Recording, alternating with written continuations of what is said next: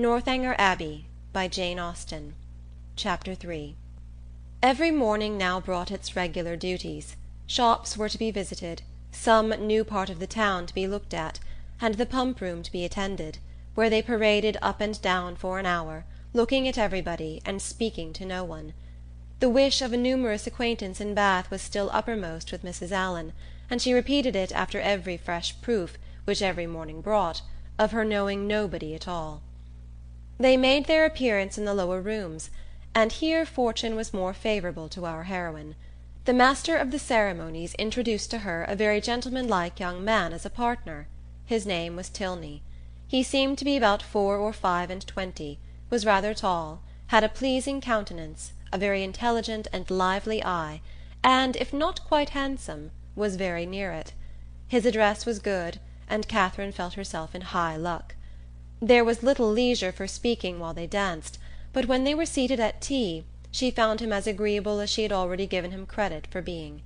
He talked with fluency and spirit, and there was an archness and pleasantry in his manner which interested, though it was hardly understood by her. After chatting some time on such matters as naturally arose from the objects around them, he suddenly addressed her with I have hitherto been very remiss, madam, in the proper attentions of a partner here. I have not yet asked you how long you have been in Bath, whether you were ever here before, whether you have been at the upper rooms, the theatre, and the concert, and how you like the place altogether. I have been very negligent. But are you now at leisure to satisfy me in these particulars? If you are, I will begin directly. You need not give yourself that trouble, sir. No trouble, I assure you, madam. Then, forming his features into a set smile, and affectedly softening his voice, he added, with a simpering air, "Have you been long in Bath, madam?" "About a week, sir," replied Catherine, trying not to laugh. "Really?" with affected astonishment. "Why should you be surprised, sir?" "Why, indeed," said he, in his natural tone. But some emotion must appear to be raised by your reply, and surprise is more easily assumed, and not less reasonable than any other. Now let us go on. Were you never here before, madam? Never, sir. Indeed? Have you yet honoured the upper rooms? Yes, sir, I was there last Monday. Have you been to the theatre? Yes, sir, I was at the play on Tuesday. To the concert? Yes, sir, on Wednesday. And are you altogether pleased with Bath? Yes, I like it very well. Now I must give one smirk, and then we may be rational again. Catherine turned away her head, not knowing whether she might venture to laugh. I see what you think of me, said he gravely. I shall make but a poor figure in your journal to-morrow. My journal? Yes, I know exactly what you will say. Friday. Went to the lower rooms. Wore my sprigged muslin robe with blue trimmings. Plain black shoes. Appeared to much advantage. But was strangely harassed by a queer half-witted man who would make me dance with him, and distressed me by his nonsense. Indeed, I shall say no such thing. Shall I tell you what you ought to say?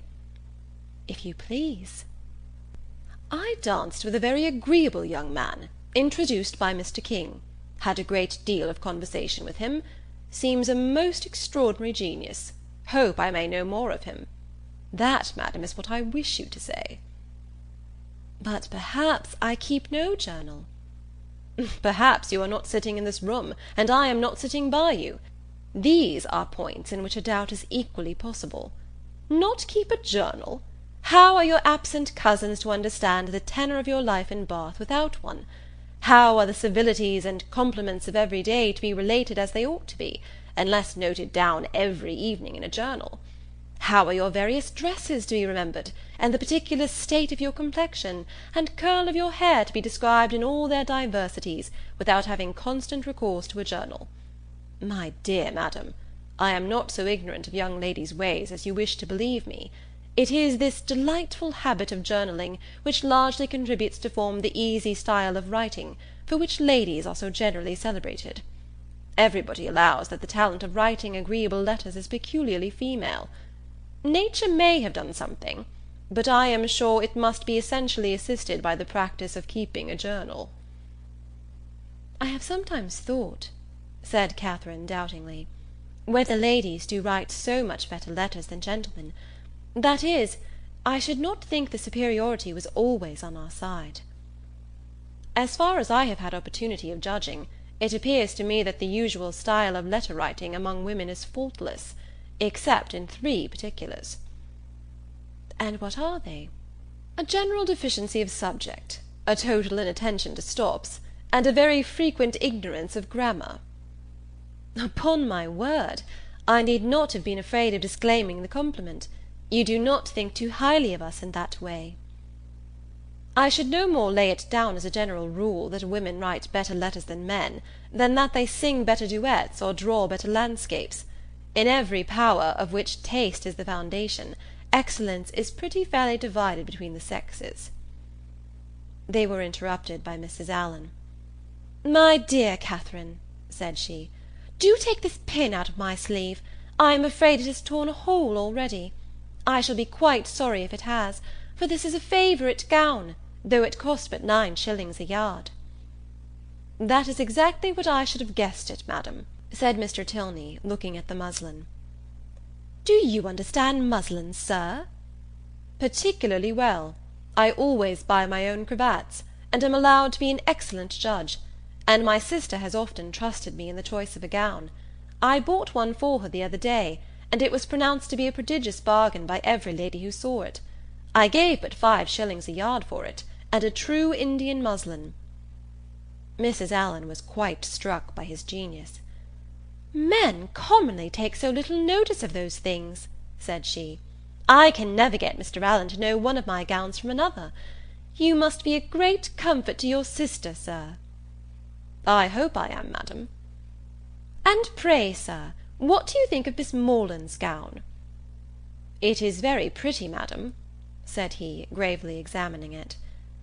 "But I do not think it will wash well. I am afraid it will fray." "How can you," said Catherine, laughing, "be so she had almost said strange. "I am quite of your opinion, sir," replied Mrs. Allen, "and so I told Miss Morland when she bought it." "But then you know, madam, muslin always turns to some account or other. Miss Morland will get enough out of it for a handkerchief, or a cap, or a cloak. Muslin can never be said to be wasted. I have heard my sister say so forty times, when she has been extravagant in buying more than she wanted, or careless in cutting it to pieces." "Bath is a charming place, sir. There are so many good shops here. We are sadly off in the country; not but what we have very good shops in Salisbury, but it is so far to go. Eight miles is a long way.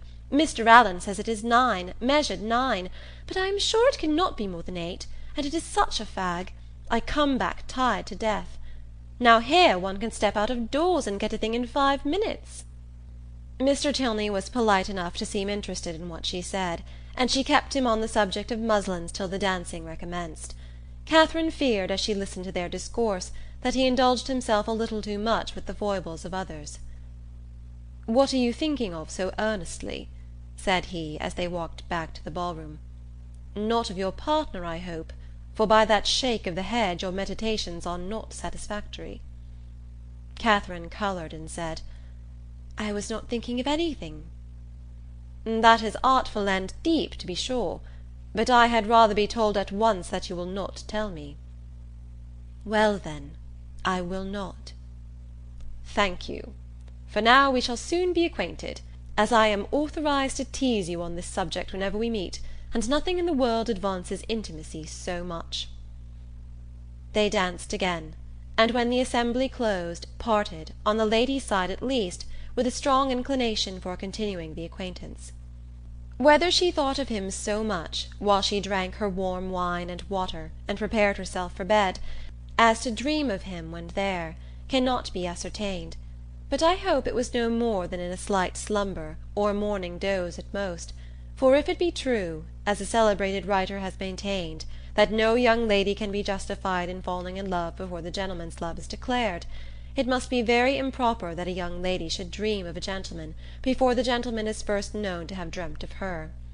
How proper Mr. Tilney might be as a dreamer or a lover had not yet perhaps entered Mr. Allen's head; but that he was not objectionable as a common acquaintance for his young charge, he was on inquiry satisfied; for he had early in the evening taken pains to know who her partner was, and had been assured of Mr. Tilney's being a clergyman, and of a very respectable family in Gloucestershire. CHAPTER 4 Chapter 3